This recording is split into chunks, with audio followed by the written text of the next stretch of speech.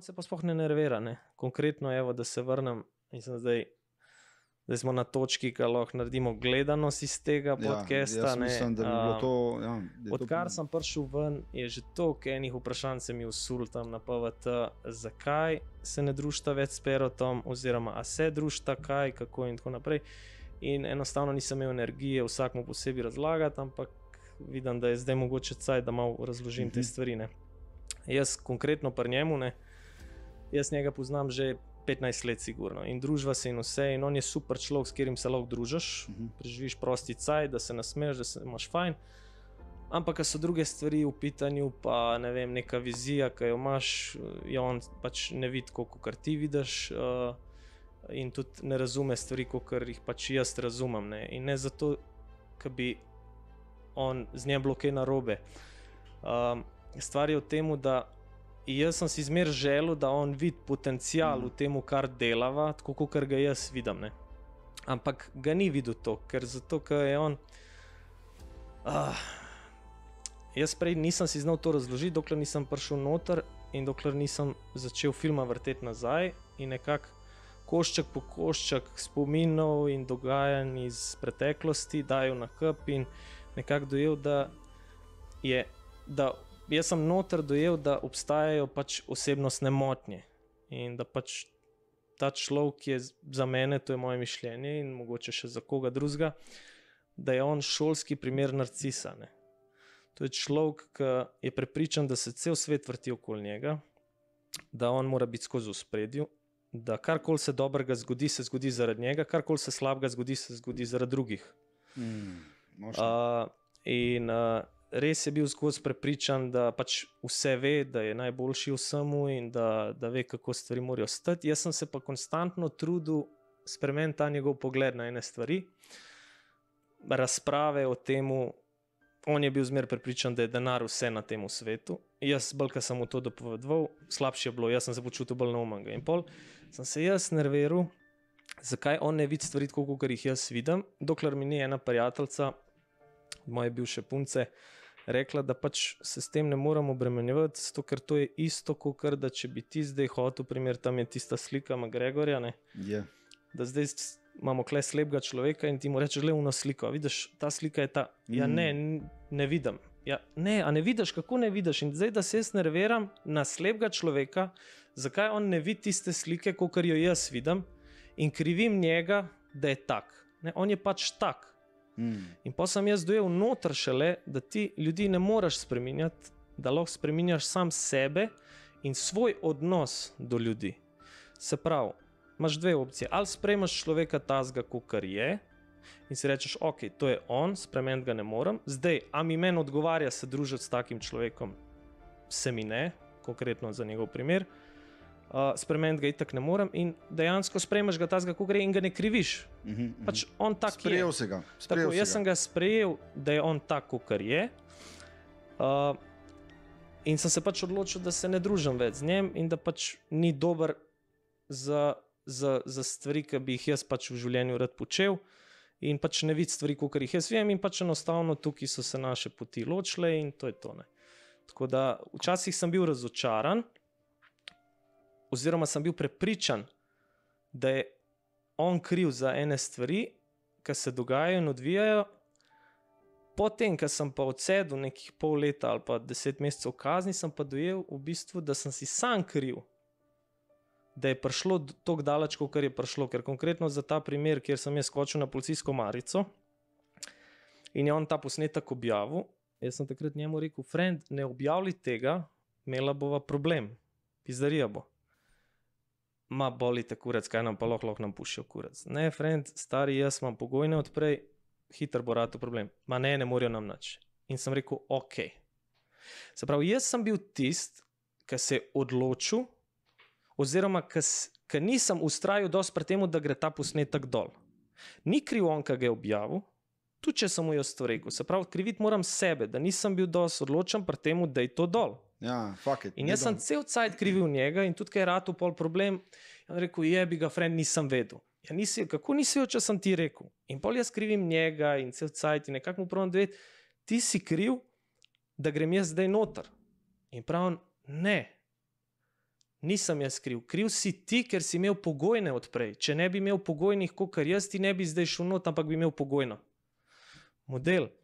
Jaz sem za tiste pogojne grl, plačeval odvetnike, da sem izvlekel pogojne, na koncu ti prideš in porušaš vse, kar domine, pač uno. In pol sem si rekel, pa se ni on kriv.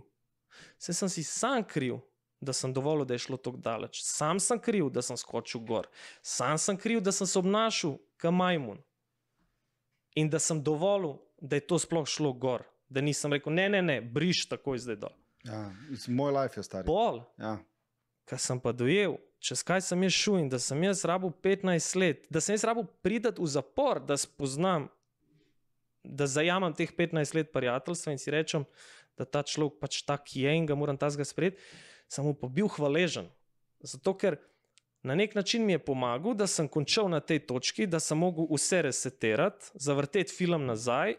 A veš, kaj prijaš v razmetano sobo ono ne veš, kje bi začel pospravljati. In jaz nisem imel druge opcije, kot da začnem pospravljati. In pol, Mhm. aha, te stvari so ta predal, to gre v ta predal. In pol stvari rado bolj jasne. Aha, vidiš, ok, soba ima že neki izgledane. Aha, tole so pa smeti.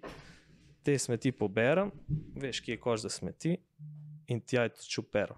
Razumeš? Uh -huh, uh -huh. In pač uno, ti si bil en pomemben del mojega lajfa, bilo je fajn, dokler smo se družili, ampak enostavno, klele, jaz moram potegniti črto.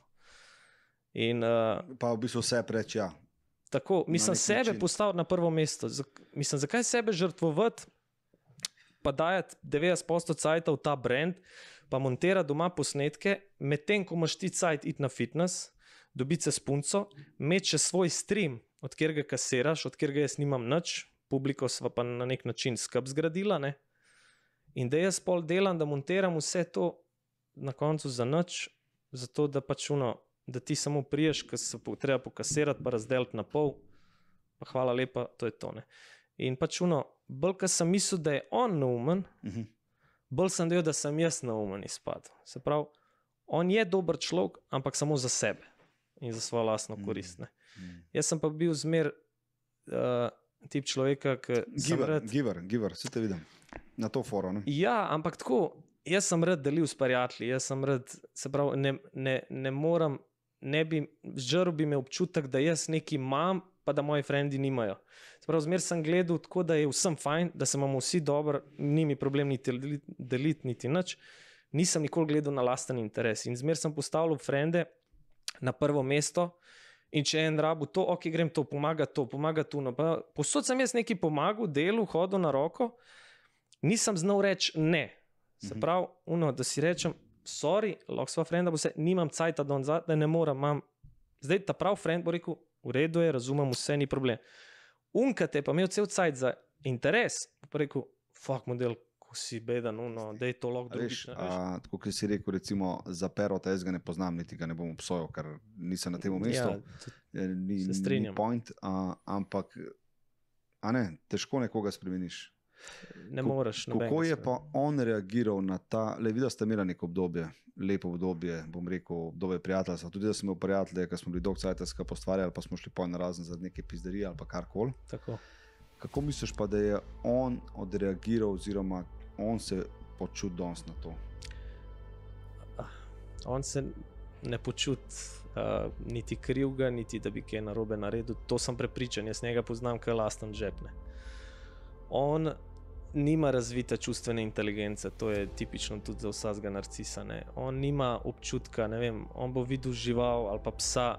On ve, da za druge je prav, da ti pobožaš psa, pa rečeš, o, kako cute, kuža, ovo, ono ampak une, neke empatije do živali v njemu ne boš videl, tega žara ne boš nikoli videl. Uh, on nima razvite čustvene inteligence, on je pač tako, kar je in on nikoli ne bo vse priznal, da je za neki kriv. Uh, edino, ko bo prepričan, da v primeru, da to prizna, čeprav vse ne bo priznal, bo njemu doprinesel nekaj drugega. Se pravi, aha, ok, priznal ti bom to, samo to, da ti priznam, da jaz dosežem nekaj svoje zato da gremo mi lahko, da se premaknemo iz te točke, ker jaz imam še nek drug interes s tabo.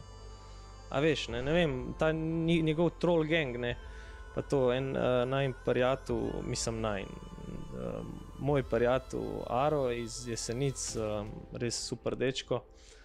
Um, ga je tetoviral in vem, da si je tetoviral, videl sem na njegovih narodovih storih, da mu je tetoviral na nogo troll gangne.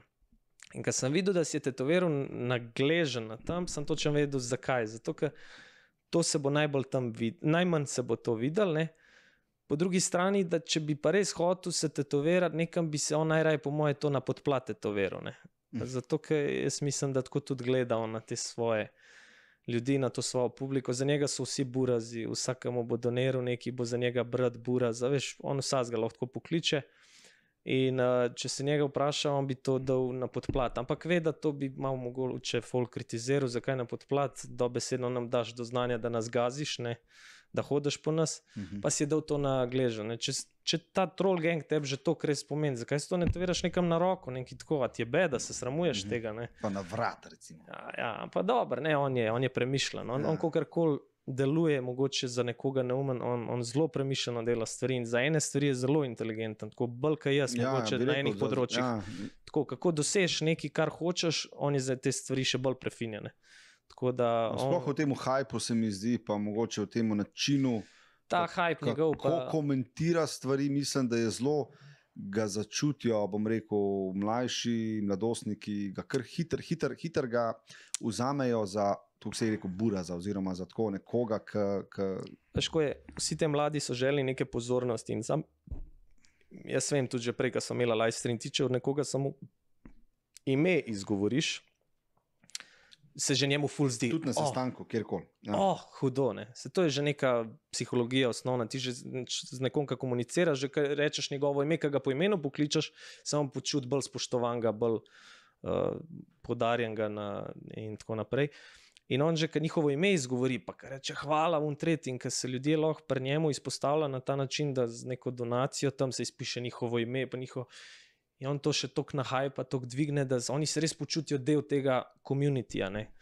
Ampak na koncu, ko potegneš črto, je kle samo, aha, važno je, da je šlo v žep in to je to, a vas, da, da, da ne grem pregloboko, ja, ja, ja, da ne bo ja. kdo ne bi mu nikoli hotel pokvariti gledanosti, niti nič. Prvoščemu, se pravi, jaz temu človeku prvoščemu vse najboljše.